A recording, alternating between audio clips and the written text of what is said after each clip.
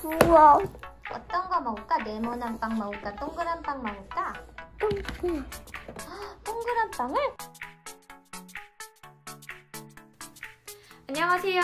토크앤토크 언어치료 배우기입니다. 저는 언어 재활사 우정수입니다. 드디어 2022년이 밝았습니다. 네, 올 한 해도 좋은 일 모두 구독자 여러분들 가득하시기를 바라고요. 저도 더 분발해서 유튜브 만들 수 있도록 어, 열심히 노력하겠습니다. 오늘은 여러분들과 함께 치료에 좀 도움이 되는 장난감들도 하나 소개해 드리려고 이렇게 유튜브 키게 되었는데요. 제가 처음에는 좀 신기하고 재미있는 거를 보여드리려고 새로 구입한 장난감들 위주로 소개를 했더니 어, 다른 분들이 제 방에 오셔서 무슨 장난감 있나 이렇게 보고 가시더라고요. 그래서 저도 되게 좋았고 그 장난감들이 좀 몇 개가 품절이 돼서 어디서 샀냐는 문의들도 많이 주셨는데요. 뭐 처음에는 저도 안 써봤다가 새로 알게 된 거 위주로 알려드렸는데 사실은 저희가 전통적으로 흔히 사용할 수 있는 장난감들도 너무 언어 치료에 도움이 되는 것들이 많아요. 어, 물론 이제 치료사 분들은 뭐 매번 쓰는 거니까 너무 잘 알고 계셔서 크게 도움은 안 되시겠지만 또 부모님들은 집에서 어, 늘상 볼 수 있는 아이템들로 한번 어, 이렇게 놀이를 해보는 걸 보여드리는 게 또 어떨까 해서 오늘은 전통적으로 저희가 많이 쓰고 있는 장난감 중에 하나를 좀 소개해 드리려고 해요. 2022년에 새로 졸업하는 새내기 언어 재활사 분들도 어, 치료를 볼 기회가 많이는 없으셨을 테니까 어, 장난감을 어떻게 활용하는지 보시면 조금은 어, 언어 재활사 생활하시는데 도움이 될 수 있을 것 같습니다. 그럼 저희 장난감 보러 한번 출발해 볼까요? 오늘 소개할 장난감은 바로 토스터기 장난감입니다. 흔히 뭐 상징놀이나 음, 소꿉놀이를 할 때 사용되는 제품인데요. 역시 언어 치료 할 때도 굉장히 유용하게 쓸 수 있는 제품이에요. 음, 특히나 제가 산 토스터기는 토스터기를 보면은 빵을 이렇게 넣고 이렇게 타이머를 돌리고 구울 수 있다는 거는 뭐 기존 제품하고 별로 다를 바가 없었는데 시한폭탄까지 이렇게 돌아가는 부분이 좀 애들이 집중을 좀 더 할 수 있는 것 같아서 좋았고요. 특별히 보세요. 빵이 이렇게 위로 굉장히 많이 튀어 올라요. 그래서 이게 기존 제품하고 어, 조금 달라서 한 번 더 보여드릴게요.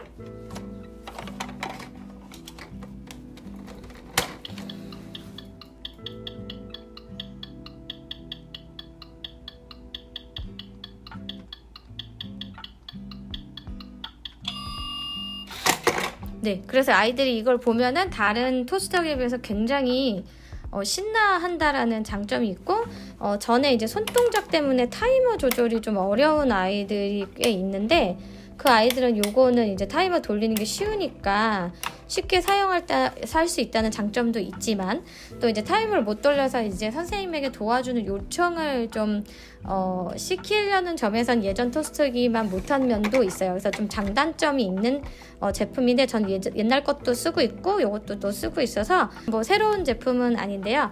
또 이제 언어 치료 막 시작하신 어머님들이 집에서 아이들하고 재미있게 놀 수 있는 그런 제품 중에 하나라서 아주 정통적인 어, 장난감이지만 한번 소개해드리고 싶어 서 소개해드렸습니다.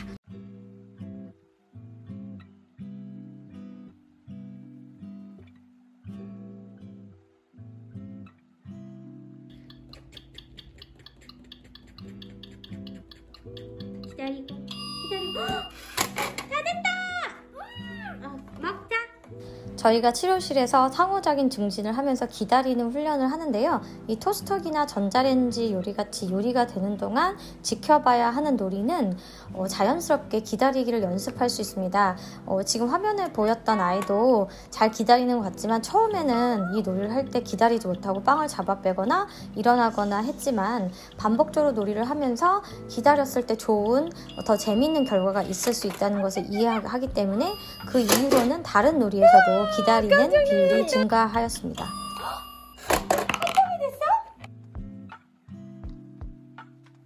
토스터기 놀이를 하면서 한 단어, 이어 조합, 문장 수준의 발화를 연습할 수 있습니다.